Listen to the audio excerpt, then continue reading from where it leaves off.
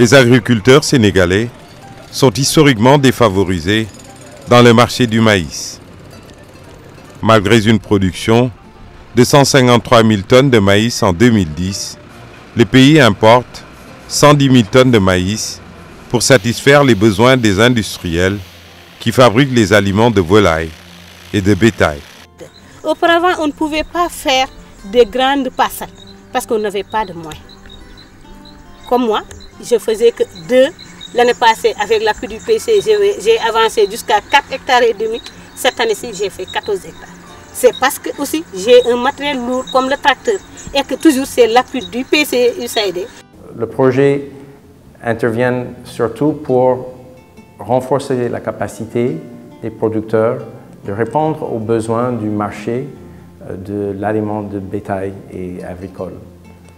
Et donc, on aide les producteurs à, négocier des contrats avec des acheteurs et ces relations-là permettent par la suite de, mobiliser du crédit. On les voit déjà en train d'augmenter les superficies cultivées et aussi euh, plus de stock pour leurs besoins propres. On a commencé le programme en 2009.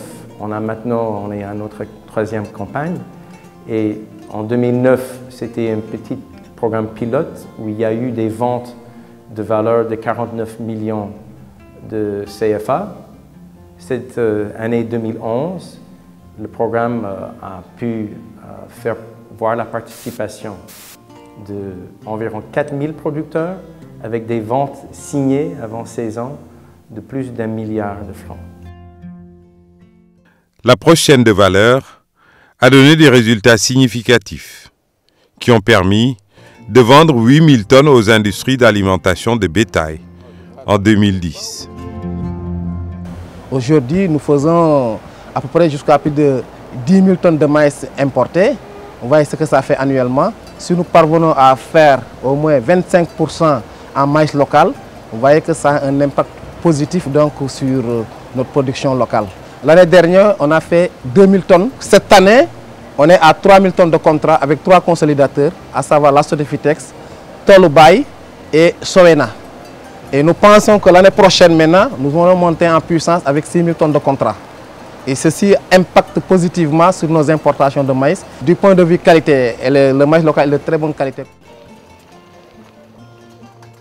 La signature des contrats entre producteurs et acheteurs avant le début de la campagne agricole, a permis de mobiliser des crédits bancaires de plus d'un milliard pour l'achat d'intrants et de matériel agricole.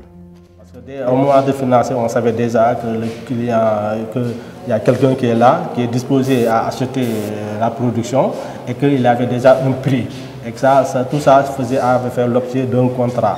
Donc ça, c'est une garantie supplémentaire pour la, pour, parce qu'on est sûr d'être remboursé à 100%.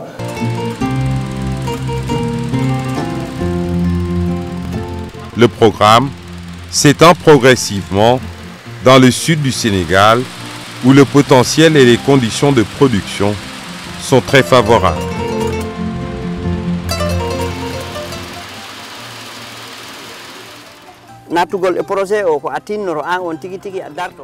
Lorsque j'ai commencé à travailler avec l'USAID, ça fait deux ans. Le bâtiment que vous voyez face à face là, c'est dans ce programme que j'ai pu réaliser ce bâtiment. Depuis que j'ai commencé le programme, la famille n'est plus dans ma maison. Toute la famille est à l'aise et en bonne santé. Je n'ai pas de problème sur l'inscription des enfants, sur les droits d'inscription, sur l'achat des fournitures, sur les ordonnances. Je n'ai aucun problème. L'année dernière, ici à Sarekonko, on n'avait que 2 hectares de multiplication de semences. Mais cette année, on a 12 hectares 50 au niveau de Saré-Conco. Nous, on a mis directement les, les, intrants en place. On a mis la semence dans la première semaine du mois de juin. C'est ce qui était même dans les contrats.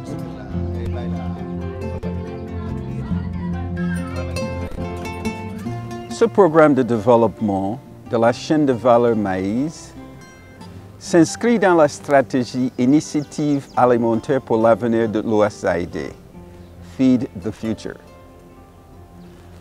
L'intervention de l'OSAID consiste à assurer aux petits producteurs une place centrale dans la croissance du secteur agricole du Sénégal. Le revenu additionnel qu'ils gagnent leur permet de couvrir les besoins du ménage et d'investir pour s'assurer un avenir meilleur.